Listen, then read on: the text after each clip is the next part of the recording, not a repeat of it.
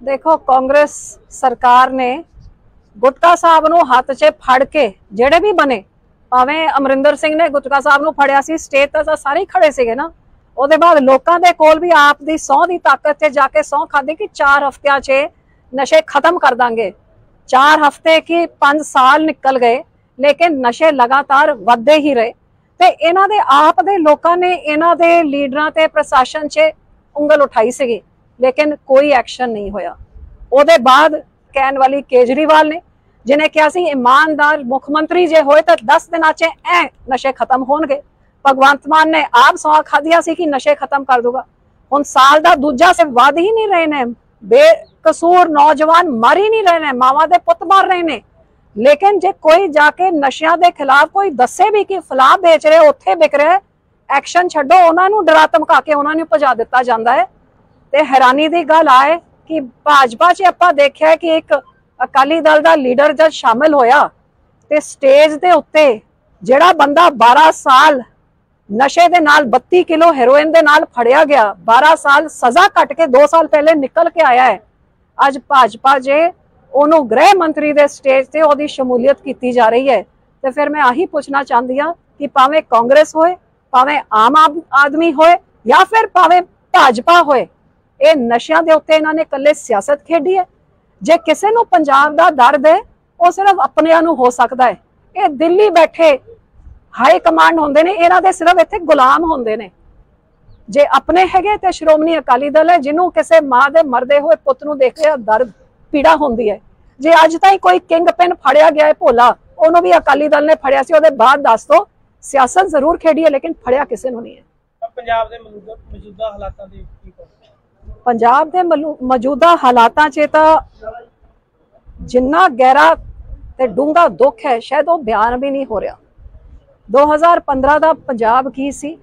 ਜਿੱਥੇ ਅਮਨ ਸ਼ਾਂਤੀ ਸੀ, ਭਾਈਚਾਰਕ ਸਾਂਝ ਸੀ, ਹਾਈਵੇ ਬਣ ਰਹੇ ਸੀ, ਬਿਜਲੀ ਦੇ ਗ੍ਰਿਡਾਂ ਬਣ ਰਹੀ ਸੀਗੀਆਂ, ਮੰਡੀਆਂ ਬਣ ਰਹੀਆਂ, ਹਰ ਗਰੀਬ ਦੀ ਬਾਹ ਫੜੀ ਜਾਂਦੀ ਸੀ, ਭਾਵੇਂ ਆਟਾ ਦਾਲ, ਭਾਵੇਂ ਪੈਨਸ਼ਨ, ਭਾਵੇਂ ਸ਼ਗਨ, ਹਰ ਪਿੰਡ ਨੂੰ ਵਿਕਾਸ ਦੀ ਗ੍ਰਾਂਟਾਂ, ਹਰ ਸ਼ਹਿਰ ਵਿੱਚ ਵਿਕਾਸ ਦੇ ਕੰਮ ਨਹਿਰੀ ਪਾਣੀ ਦਾ ਕੰਮ ਹੋਏ, ਵੱਡੇ ਸੂਏ ਹੋਣ, ਜੋ ਕੁਝ ਆਪਾਂ ਕਹਿ ਸਕਦੇ ਆ ਸਕੂਲ ਅਪਗ੍ਰੇਡ ਕੀਤੇ ਜਾਣ ਏਮਸ ਵਰਗਾ ਹਸਪਤਾਲ ਸਾਰੇ ਪੱਖੋਂ ਚੌਪੱਖੀ ਵਿਕਾਸ ਹੋ ਰਿਹਾ ਸੀਗਾ।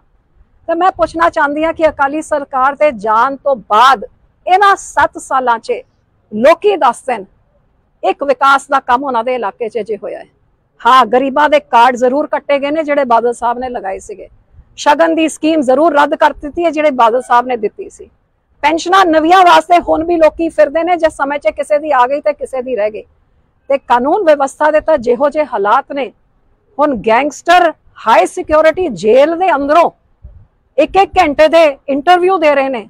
ਤੇ ਅੱਜ ਤਾਈਂ ਨਾ ਕਿਸੇ ਦੇ ਖਿਲਾਫ ਕੋਈ ਐਕਸ਼ਨ, ਬਲਕਿ ਕਵਰ ਅਪ ਜੇ ਡੀਜੀਪੀ ਤੁਹਾਡੇ ਕੋਲ ਕੋਈ ਪਰਮਨੈਂਟ ਨਹੀਂ ਹੈਗਾ, ਕਾਰਜਕਾਰੀ ਡੀਜੀਪੀ ਬਿਠਾਇਆ ਹੋਇਆ ਹੈ, ਤੇ ਫਿਰ ਜ਼ਿੰਮੇਵਾਰੀ ਕਿੱਥੇ ਹਕੀਕਤ ਆ ਹੈਗੀ ਕਿ ਮੈਨੂੰ ਲੱਗਦਾ ਨਿਆਣਿਆਂ ਦੇ ਹੱਥ ਇਹ ਪੰਜਾਬ ਵਰਗੇ ਜਹਾਜ਼ ਨੂੰ ਫੜਾਤਾ, ਹੁਣ ਨਿਆਣੇ ਨੂੰ ਨਾ ਤਾਂ ਚਲਾਣਾ ਹੈ, ਨਾ ਬੰਦ ਕਰਨਾ ਹੈ, ਨਾ ਕੁਝ ਕਰਨਾ ਹੈ ਤੇ ਪੰਜਾਬ ਦਾ ਰੱਬ ਰੱਖਾ ਹੀ ਕੰਮ ਚੱਲੇ ਕਿਉਂਕਿ ਸਰਕਾਰ ਨਾਮ ਦੀ ਚੀਜ਼ ਨਹੀਂ ਹੈ। ਲੁੱਟਾ ਖੋਆ ਕਾਨੂੰਨ ਵਿਵਸਥਾ, ਇੰਡਸਟਰੀ ਭੱਜ ਰਹੀ ਹੈ, ਬੱਚੇ ਵਿਦੇਸ਼ ਜਾ ਰਹੇ ਨੇ ਤੇ ਪੰਜਾਬ ਦੇ ਹਾਲਤ ਰੋਜ਼ ਦੀ ਰੋਜ਼ ਲਿਖਦੇ ਜਾ ਰਹੇ ਤੁਸੀਂ ਲੇਟੈਸਟ ਆંકੜੇ ਦੇਖਿਓ, ਜਿਹੜੀ ਐਜੂਕੇਸ਼ਨ ਨੂੰ ਅਸੀਂ ਤੀਜੇ ਨੰਬਰ 'ਚ ਛੱਡ ਕੇ ਗਏ ਸੀ, ਉਹ 15ਵੇਂ ਨੰਬਰ 'ਚ ਆ ਗਈ ਜਿਹੜੀ ਸਿਹਤ ਸਹੂਲਤਾਂ ਨੂੰ ਅਸੀਂ ਪੰਜਵੇਂ ਨੰਬਰ 'ਚ ਛੱਡਿਆ ਸੀ, ਉਹ 17ਵੇਂ ਨੰਬਰ 'ਚ ਦੇਸ਼ 'ਚ ਆ ਗਏ। ਇਹ 5-7 ਸਾਲਾਂ 'ਚ ਹੀ ਹੋ ਗਿਆ। ਹੈ। ਤੇ ਹੋਰ ਮੈਨੂੰ ਦੱਸਣ ਦੀ ਲੋੜ ਨਹੀਂ। ਆ ਝੂਠੀ ਸਰਕਾਰਾਂ ਨੇ ਲੋਕਾਂ ਦੇ ਨਾਲ ਬਹੁਤ ਵੱਡਾ ਧੋਖਾ ਕੀਤਾ ਹੈ, ਦਗਾ ਕੀਤਾ ਹੈ। ਅੱਜ ਨਾ ਕਾਂਗਰਸ ਲੱਭਦੇ ਨੇ, ਨਾ ਕੋਈ ਆਮ ਆਦਮੀ ਦਾ ਲੱਭਦਾ ਹੈ। ਤੇ ਸ਼੍ਰੋਮਣੀ ਅਕਾਲੀ ਦਲ ਜਿਹੜੇ ਲੋਕਾਂ ਦੀ ਹੈਗੀ, ਉਹ ਅੱਜ ਵੀ ਲੋਕਾਂ ਦੇ ਵਿੱਚ ਭਾਵੇਂ ਹਾਰੇ, ਭਾਵੇਂ ਜਿੱਤੇ, ਜਿਵੇਂ ਪਹਿਲੇ ਤੁਹਾਡੇ ਵਿੱਚ ਵਿਚਰਦੇ ਸੀ, ਅੱਜ ਵੀ ਤੁਹਾਡੇ ਵਿੱਚ ਹੀ ਤੁਰੇ ਫਿਰਦੇ ਨੇ, ਜਿੰਨੇ ਜੋਗੇ ਕੰਮ ਕਰ ਸਕਦੇ ਆ, ਦ੍ਰਿੜਤਾ ਦੇ ਨਾਲ ਬੀਬਾ ਜੀ ਜਿਹੜਾ ਅਮਰਤਪਾਲ ਦੇ ਮੁੱਦੇ ਵਿੱਚ ਜਿਹੜਾ ਨੌਜਵਾਨਾਂ ਤੇ ਐਨਐਸ ਲਗਾਏਗਾ ਉਹਦੇ ਬਾਰੇ ਕੀ ਕਹੋਗੇ ਤੁਸੀਂ? ਤੇ ਬੜੀ ਦੁੱਖ ਦੀ ਗੱਲ ਹੈਗੀ। ਮੈਂ ਇਸ ਗੱਲ ਦੀ ਸਖਤ ਸ਼ਬਦਾਂ ਨਾਲ ਖੰਡਨ ਕਰਦੀ ਹਾਂ ਨਿੰਦਾ ਕਰਦੀ ਹਾਂ ਜੇ ਕਿਸੇ ਨੇ ਕੋਈ ਗੁਨਾਹ ਕੀਤਾ ਹੈ, ਉਹਦੇ ਖਿਲਾਫ ਜ਼ਰੂਰ ਐਕਸ਼ਨ ਹੋਣਾ ਚਾਹੀਦਾ ਹੈ। ਜੋ ਗਲਤੀ ਕਰਦਾ ਸਜ਼ਾ ਉਹਨੂੰ ਮਿਲਣੀ ਚਾਹੀਦੀ ਹੈ। ਲੇਕਿਨ ਉਹਦੇ ਆੜ ਵਿੱਚ ਤੁਸੀਂ ਬੇਕਸੂਰ ਨੌਜਵਾਨਾਂ ਨੂੰ ਕਿਸੇ ਨੌਜਵਾਨ ਨੇ ਜੇ ਕੋਈ ਪੋਸਟ ਪਾਤੀ ਕੋਈ ਸ਼ੇਅਰ ਕਰਤਾ ਕੋਈ ਕਮੈਂਟ ਕਰਤਾ ਤੁਸੀਂ ਉਹਨੂੰ ਨੈਸ਼ਨਲ ਸਿਕਿਉਰਿਟੀ ਐਕਟ ਲਗਾ ਕੇ ਤੁਸੀਂ ਉਹਨੂੰ ਅਸਾਮ ਜਾ ਕੇ ਡੇਲਾ ਜੇਲ੍ਹਾਂ 'ਚ ਧੱਕ ਦਿਓ 3-400 ਸਾਡੇ ਨੌਜਵਾਨਾਂ ਨੂੰ ਤੁਸੀਂ ਉਹਨਾਂ ਦਾ ਭਵਿੱਖ ਖਰਾਬ ਕਰ ਦੋ। ਡਰਾ ਧਮਕਾ ਕੇ ਸਿਰਫ ਆਪ ਦੀ ਸਿਆਸੀ ਉਹਨਾਂ ਦਾ ਮੂੰਹ ਬੋਲੀ ਬੰਦ ਕਰਨ ਵਾਸਤੇ ਤੁਸੀਂ ਇਸ ਤਰ੍ਹਾਂ ਉਹਨਾਂ ਦਾ ਭਵਿੱਖ ਖਰਾਬ ਕਰ ਦੋ। ਐਨਐਸਏ ਲਗਾ ਕੇ ਬਹੁਤ ਹੀ ਨਿੰਦਨਯੋਗ ਹੈ। ਤੇ ਹੁਣ ਇਸ ਤੋਂ ਵੀ ਦੁੱਖ ਦੀ ਗੱਲ ਹੈ ਕਿ ਮੁੰਡਿਆਂ ਨੂੰ ਨਹੀਂ, ਲੇਕਿਨ ਉਹਨਾਂ ਦੇ ਬਜ਼ੁਰਗ ਮਾਤਾਵਾਂ ਨੂੰ, ਉਹਨਾਂ ਦੀ ਭੈਣਾਂ ਨੂੰ, ਧੀਆਂ ਨੂੰ, ਨੌਜਵਾਨਾਂ ਨੂੰ ਕਿਸੇ ਨੂੰ ਜੰਮੂ ਕਸ਼ਮੀਰ ਤੋਂ, ਕਿਸੇ ਨੂੰ ਦਿੱਲੀ ਤੋਂ, ਕਿਸੇ ਨੂੰ ਹਰਿਆਣੇ ਤੋਂ, ਪੰਜਾਬ ਤੋਂ, ਹੁਣ ਤੁਸੀਂ ਔਰਤਾਂ ਨੂੰ ਵੀ ਫੜਨ ਲੱਗ ਗਏ ਹੋ। ਬਿਲਕੁਲ ਜੋ ਗਲਤੀ ਕਰਦਾ, ਉਹਨੂੰ ਸਜ਼ਾ ਮਿਲਣੀ ਚਾਹੀਦੀ ਹੈ। ਅਸੀਂ ਉਹਦੇ ਪੂਰੇ ਹੱਕ 'ਚ ਹੈ। ਬਲਕਿ ਤੁਸੀਂ ਤਿੰਨ ਤਿੰਨ ਮਹੀਨੇ ਮਹੀਨੇ ਪਰ ਸਜ਼ਾ ਹੀ ਨਹੀਂ ਦਿੰਦੇ ਹੋ, ਜਿਹਦੇ ਕਰਕੇ ਹਾਲਾਤ ਪੈਦਾ ਕਰਕੇ ਹੁਣ ਤੁਸੀਂ ਦਹਿਸ਼ਤ ਦਾ ਮਾਹੌਲ ਇੰਨਾ ਬਣਾਤਾ ਹੈ ਕਿ ਵਿਸਾਖੀ ਦੇ ਦਿਨ ਜਿੱਥੇ ਪੈਰ ਧਰਨ ਦੀ ਜਗ੍ਹਾ ਨਹੀਂ ਹੁੰਦੀ ਹੈ ਤੱਕ ਦਮਦਮਾ ਸਾਹਿਬ 'ਚ, ਕਦੇ 144 ਦੀ ਅਫਵਾਹਾਂ ਫੈਲ ਰਹੀਆਂ ਪੈਰ ਪੈਰ 'ਚ ਉੱਥੇ ਨਾਕੇ ਲਾਏ ਹੋਏ ਨੇ, ਇੰਨੀ ਪੁਲਿਸ ਭਰੀ ਹੋਈ ਸੀ ਕਿ ਸ਼ਰਧਾਲੂ ਘੱਟ ਤੇ ਪੁਲਿਸ ਵੱਧ। ਤੇ ਭਗਵੰਤ ਮਾਨ ਕਿੱਥੇ ਸੀਗਾ? ਮੁੱਖ ਮੰਤਰੀ ਪਿਛਲੇ ਸਾਲ ਤਾਂ ਸ਼ਰਾਬ 'ਚ ਡੱਕਿਆ ਹੋਇਆ ਨਕਮਸਤਕ ਹੋਣ ਆਇਆ ਸੀ। ਹੁਣ ਆ ਕੇ ਹਾਲਾਤ ਕਿਉਂ ਨਹੀਂ ਦੇਖਣ ਵਾਸਤੇ ਆਇਆ? ਹਕੀਕਤ ਹੈ ਕਿ ਜਲੰਧਰ 'ਚ ਜਿੱਥੇ ਜਿਵੇਂ ਅੱਜ ਆਮ ਆਦਮੀ ਦੀ ਪਾਰਟੀ ਵੋਟਾਂ ਨਿਕਲ ਰਹੀ ਹੈ, ਲੋਕੀ ਡਾਂਗਾ ਦੇ ਨਾਲ ਉਹਨਾਂ ਨੂੰ ਆਪਣੇ ਪਿੰਡਾਂ ਤੋਂ ਖਦੇੜ ਰਹੇ ਨੇ। ਇਸ ਕਰਕੇ ਮੁੱਖ ਮੰਤਰੀ ਨਹੀਂ ਆਇਆ, ਕਿਉਂਕਿ ਉਹਨੂੰ ਵੀ ਰਿਪੋਰਟਾਂ ਸੀ ਕਿ ਇਹ ਵੀ ਉੱਤੇ ਹਾਲਾਤ ਆਈ ਹੋਣਗੇ, ਜੇ ਕਿਤੇ ਤਲਵੰਡੀ ਸਾਬੋ ਆ ਗਿਆ। ਇੱਕ ਲਾਸਟ ਕੁਐਸਚਨ ਜੀ ਸਤੂਰਗੜ੍ਹ ਹਲਕੇ ਦੇ ਪਿੰਡਾਂ 'ਚ ਦਲਾਲ ਸਿੰਘ ਭੁੰਦੜ ਨੇ ਵੀ ਦੌਰਾ ਕੀਤਾ ਜੀ। ਗੜੇਮਾਰੀ ਨਾਲ ਕਾਫੀ ਨੁਕਸਾਨ ਹੋਇਆ ਸੀ। ਭਗਵੰਤ ਮਾਨ ਜੀ ਨੇ ਕਿਹਾ ਸੀ ਵੀ ਅਸੀਂ ਵਿਸਾਖੀ ਤੱਕ ਪੈਸੇ ਖਾਤਿਆਂ 'ਚ ਪਾ ਦਾਂਗੇ। ਪਰ ਹਜੇ ਤੱਕ ਜੇ ਅਧਿਕਾਰੀ ਲਿਖ ਰਹੇ ਨੇ ਤਾਂ ਜੀ 26 ਤੋਂ 32% ਲਿਖੇ ਰਹੇ ਨੇ ਤੇ ਨਹੀਂ, ਹਜੇ ਤੱਕ ਕਿਸੇ ਨੂੰ ਕੁਝ ਨਹੀਂ ਮਿਲਿਆ। ਦੇਖੋ, ਇਹ ਝੂਠੀ ਸਰਕਾਰ ਹੈਗੀ, ਧੋਖੇਬਾਜ਼, ਗੱਦਾਰ ਸਰਕਾਰ ਹੈਗੀ। ਇਹਨਾਂ ਨੇ ਸਰਕਾਰ ਹੀ ਧੋਖੇ ਦੇ ਨਾਲ ਝੂਠ ਮਾਰ ਕੇ ਬਣਾਈ। ਨਾ ਕਿਸੇ ਬੀਬੀ ਦੇ ਖਾਤੇ 'ਚ 1000 ਰੁਪਏ ਆਏ ਨੇ। ਤੇ ਜਿਹੜੇ ਕਹਿੰਦੇ ਸੀ ਕਿ ਨੌਕਰੀਆਂ ਕੱਚਿਆਂ ਨੂੰ ਪੱਕੇ ਸਾਰੇ ਧਰਨੇ 'ਚ ਬੈਠੇ ਤਾਂ ਕਿਸਾਨਾਂ ਦੇ ਨਾਲ ਸਭ ਤੋਂ ਵੱਡਾ ਮਜ਼ਾਕ ਕਿਸਾਨਾਂ ਦੇ ਨਾਲ, ਜਿਹੜਾ ਪਹਿਲੇ ਕਹਿੰਦੇ ਸੀ, ਵੋਟਾਂ ਦੇ ਵੇਲੇ ਕਿ ਜੀ ਜਿਵੇਂ ਦਿੱਲੀ 'ਚ 50000 ਰੁਪਏ ਪ੍ਰਤੀ ਏਕੜ ਮੁਆਵਜ਼ਾ ਗਰਦਾਰੀਆਂ ਹੁੰਦੀਆਂ ਰਹਿਣਗੀਆਂ, ਉਹ 50 ਛੱਡੋ। ਫੇਰ ਕਹਿੰਦਾ ਸੀ 20 20 ਤੋਂ ਵੀ ਕਰਕੇ 15 ਚ ਆ ਗਿਆ, ਉਹ ਵੀ ਕਹਿੰਦਾ ਗਰਦਾਵਰੀਆਂ ਤੋਂ ਬਾਅਦ, ਹੁਣ ਗਰਦਾਵਰੀ ਕਿਤੇ ਹੋ ਨਹੀਂ ਰਹੀ ਹੈ। ਤੇ ਜਦ ਡੀਸੀ ਨੂੰ ਫੋਨ ਕਰਕੇ ਪੁੱਛਿਆ ਤੇ ਸਾਨੂੰ ਡੀਸੀ ਸਾਹਿਬ ਨੇ ਦੱਸਿਆ ਕਿ ਸਾਨੂੰ ਹਦਾਇਤਾਂ ਹੈਗੀਆਂ ਕਿ ਜਿੱਥੇ ਤਾਂ ਜੀ ਪਾਣੀ ਖੜਿਆ ਹੈ, ਉੱਥੇ ਤੁਸੀਂ ਦੇਣੇ, ਮੁਆਵਜ਼ੇ ਦੇਣੇ ਹੁਣ ਇੰਨੀ ਤਪਤੀ ਗਰਮੀ ਚ ਦੱਸੋ ਪਾਣੀ ਕਿੱਥੇ ਖੜਿਆ ਹੋਣਾ ਹੈ। ਪਹਿਲੇ 20000 ਦੇ 15000 ਕਰਤੇ, ਹੁਣ 15000 ਦੇ ਕਹਿਤਾ ਕਿ ਸਿਰਫ ਜਿੱਥੇ ਪਾਣੀ ਖੜਿਆ ਹੈ, ਹਕੀਕਤ ਹੈ ਕਿ ਵਿਸਾਖੀ ਤਾਂ ਕੀ, ਵਿਸਾਖੀ ਤਾਂ ਲੰਘ ਗਈ। ਮੈਨੂੰ ਦੱਸੋ ਕਿਨੂੰ ਮੁਆਵਜ਼ਾ ਮਿਲਿਆ ਹੈਗਾ? ਨਾ ਵਿਸਾਖੀ ਤੋਂ ਪਹਿਲਾਂ ਪਿਛਲੇ ਨਰਮੇ ਦਾ ਨਹੀਂ ਮਿਲਿਆ। ਪਿਛਲੇ ਸਾਲ ਜਿਹੜੇ ਗੜੇ ਮਿਲੇ ਸੀ ਉਹਦਾ ਨਹੀਂ ਮਿਲਿਆ।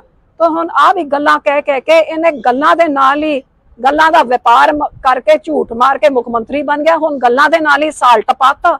ਤਾਂ ਹੀ ਗੱਲਾਂ ਦੇ ਨਾਲ ਇਹਨੇ ਗਾਂ 4 ਸਾਲ ਟਪਾਉਣ ਦੇ ਆੜ 'ਚ ਬੈਠਿਆ ਹੈ। ਲੇਕਿਨ ਲੋਕਾਂ ਨੇ ਬਖਸ਼ਣਾ ਨਹੀਂ ਹੈਗਾ। ਇਹਦੀ ਉਲਟੀ ਗਿਣਤੀ ਸ਼ੁਰੂ ਹੋ ਗਈ ਹੈ। ਬਾਹਲੇ ਜਿਆਦੀ ਦੇਰ ਦਾ ਮਹਿਮਾਨੀ ਤਾਂ ਮੈਂ ਤਾਂ ਰੱਬ ਦੇ ਅੱਗੇ ਅਰਦਾਸ ਕਰਦੀ ਹਾਂ, ਜਿੰਨੀ ਛੇਤੀ ਇਹ ਸਰਕਾਰ ਤੋਂ ਛੁਟਕਾਰਾ ਮਿਲੇ, ਲੋਕੀ ਅਰਦਾਸ ਕਰਨ, ਭਾਵੇਂ ਹੋਰ ਜਿਹਨੂੰ ਮਰਜ਼ੀ ਲੈਣ ਲੇਕਿਨ ਇਹ ਸਰਕਾਰ ਨੇ ਜਿੰਨਾ ਨਾਸ ਕਰਤਾ ਹੈ, ਇਹਨਾਂ ਤੋਂ ਕੋਈ ਆਸ ਹੁਣ ਕਿਸੇ ਨੂੰ ਨਹੀਂ ਹੈਗੀ। ਇਲੈਕਸ਼ਨਾਂ ਦੀ ਆਗਾਜ਼ ਸਮਝਿਆ ਜਾਵੇ? ਨਹੀਂ ਜੀ 2024 ਚ ਕਿਨੇ ਲੜਨਾ ਕੀ ਨਾ, ਪਾਰਟੀਆਂ ਦੇ ਫੈਸਲੇ ਹੁੰਦੇ ਨੇ।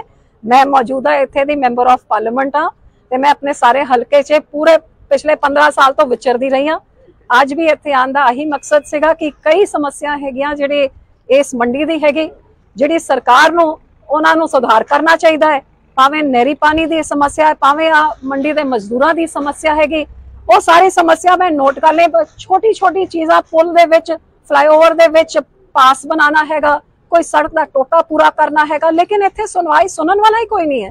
ਸੋ ਮੈਂ ਚਿੱਠੀ ਲਿਖਾਂਗੀ, ਸਰਕਾਰ ਨੂੰ, ਸੂਬੇ ਦੀ ਸਰਕਾਰ ਨੂੰ ਤੇ ਕੇਂਦਰ ਨੂੰ ਵੀ, ਲੇਕਿਨ ਜੇ ਉਹਦੇ ਵਿੱਚ ਕੋਈ ਪੈਰ ਵੀ ਨਹੀਂ ਕਰੂਗਾ, ਫਿਰ ਕੁਝ ਕੰਮ ਹੋ ਜਾਂਦੇ ਕੁਝ ਰਹਿ ਜਾਂਦੇ ਨੇ। ਸੋ ਮੈਂ ਸਰਕਾਰ ਨੂੰ ਬੇਨਤੀ ਕਰਦੀ ਹਾਂ ਕਿ ਆਪਣੀ ਜ਼ਿੰਮੇਵਾਰੀ ਤਾਂ ਘੱਟ ਤੋਂ ਘੱਟ ਐਮਐਲਏ ਸਾਹਿਬ ਤੁਸੀਂ ਪੂਰੀ ਕਰੋ, ਭਗਵੰਤ ਮਾਨ ਸਾਹਿਬ ਤੁਸੀਂ ਪੂਰੀ ਕਰੋ, ਲੋਕਾਂ ਦੇ ਵਿੱਚ ਜਾਓ ਤੇ ਉਹਨਾਂ ਦੀ ਤਕਲੀਫਾਂ ਨੂੰ ਸੁਣੋ ਤੇ ਹੱਲ ਕਰੋ।